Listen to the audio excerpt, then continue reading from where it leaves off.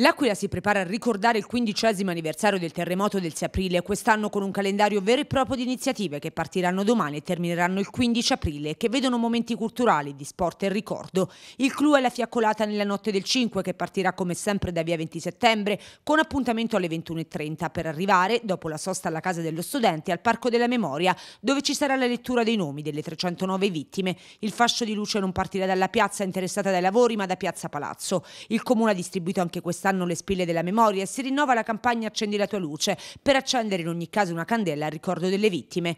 Ma il comune quest'anno ha messo in piedi un avviso pubblico per invitare le associazioni a presentare iniziative e così ne è venuto fuori un vero e proprio programma. Si parte domani con l'incontro alla Mazzini tra i ragazzi e l'associazione familiari delle vittime che gireranno nei giorni successivi anche in altri istituti e un concerto dell'ISA a San Silvestro. Si rinnova il premio Avus. Nel mezzo ci saranno anche mostre e proiezioni. Nella lotte del 5 fiaccolata sia a Onna che all'Aquila con alle 24 la messa alle anime sante. La giornata del 6 aprile sarà scandita da diverse iniziative, come la deposizione della corona alla Guardia di Finanza, il momento di raccoglimento alla casa dello studente, alle 11 l'incontro con i bambini al Parco della Memoria, seguito dal concerto all'auditorium della fanfara della Polizia di Stato, previste proiezioni alle 18 la gara Italia Under 19 Inghilterra al Fattori. Il 7 aprile l'Associazione Familiari delle Vittime incontrerà prima i bambini del nuovo basket aquilano al Palangeli di Sant'Elia e poi quelli dell'Academy del Real Aquila allo Stadio Gran Sasso prima del match l'Aquila San Benedettese paese. Sabato 13 aprile e domenica 14 aprile ci saranno proiezioni e tavole rotonde